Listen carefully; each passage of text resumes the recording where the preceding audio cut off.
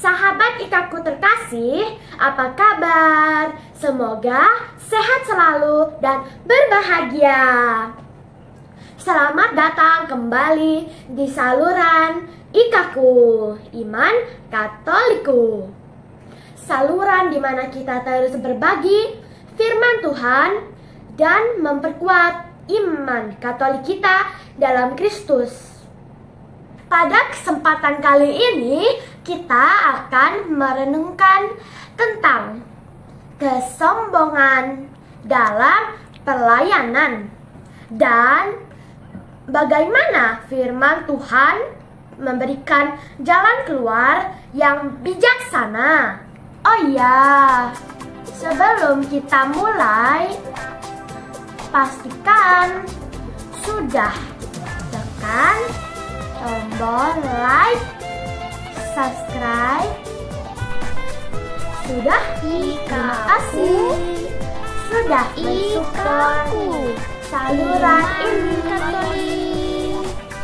Dan jangan lupa juga nyalakan notifikasi loncengnya agar tidak ketinggalan konten-konten rohani lainnya di saluran ini.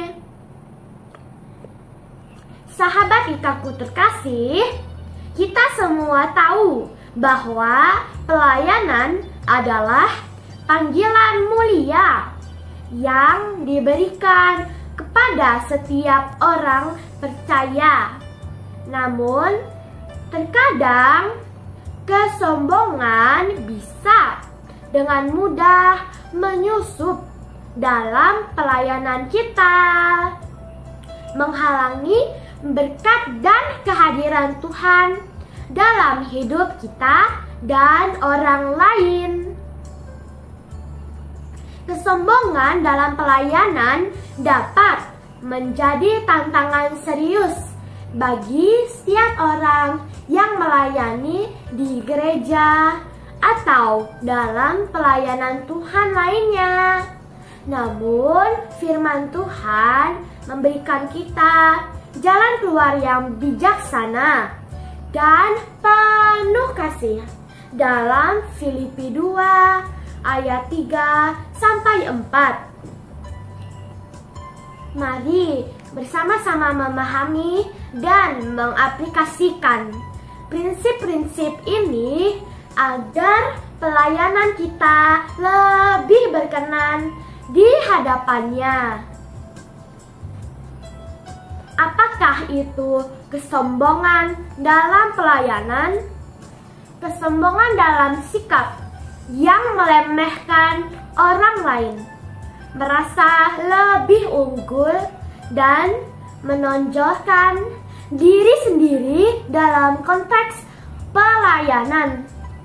Hal ini sering kali membuat kita lupa akan panggilan sejati pelayanan, yaitu mengasihi dan melayani sesama dengan rendah hati seperti yang dilakukan oleh Yesus Kristus.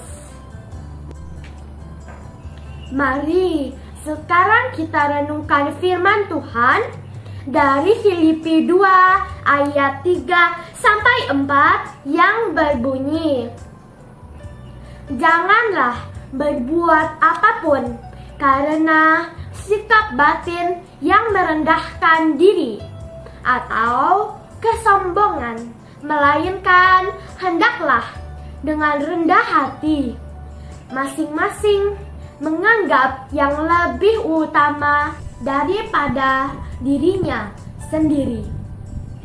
Janganlah setiap orang hanya memperhatikan kepentingan dirinya sendiri, tetapi setiap orang juga memperhatikan kepentingan orang lain.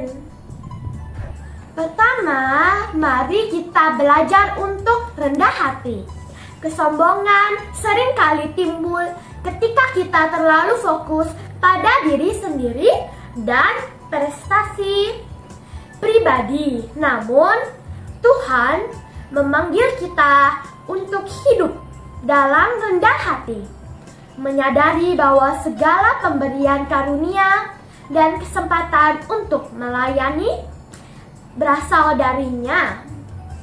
Sebagai pelayan Tuhan, kita harus selalu mengingat bahwa semua yang kita miliki adalah anugerahnya. Kedua, belajarlah untuk memikirkan kepentingan orang lain, bukan hanya kepentingan diri sendiri yang harus menjadi prioritas, tetapi juga kepentingan orang lain dalam pelayanan. Sebagai komunitas iman, kita harus saling membantu dan menyongkok satu sama lain dalam upaya kita untuk memuliakan Tuhan. Mari jadikan orang lain lebih di dalam doa dan perhatian kita.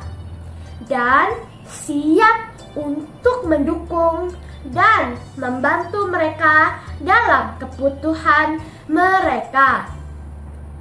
Ketiga, hindari mencari pengakuan dan pujian dari orang lain. Ketika kita hendak mencari kepuasan dan pengakuan dari manusia, kesombongan dengan cepat akan merusak pelayanan kita. Sebagai gantinya, fokuskan perhatian kita pada menghormati Tuhan dan memberikan segala kemuliaan hanya baginya. Jalan keluar dari kesombongan dalam pelayanan adalah dengan hidup dalam rendah hati, memikirkan kepentingan orang lain, dan menghindari pencarian pengakuan dari manusia. Ketika kita menerapkan prinsip-prinsip ini dalam hidup kita, pelayanan kita akan menjadi lebih efektif dan lebih banyak berkat bagi banyak orang. Semoga katekese iman kali ini menjadi pengingat bagi kita semua untuk selalu menghidupi kerendahan hati dan kesetiaan dalam pelayanan kita. Mari kita berbuat baik satu sama lain saling mendukung dan bersama-sama memuliakan Tuhan melalui setiap langkah pelayanan kita.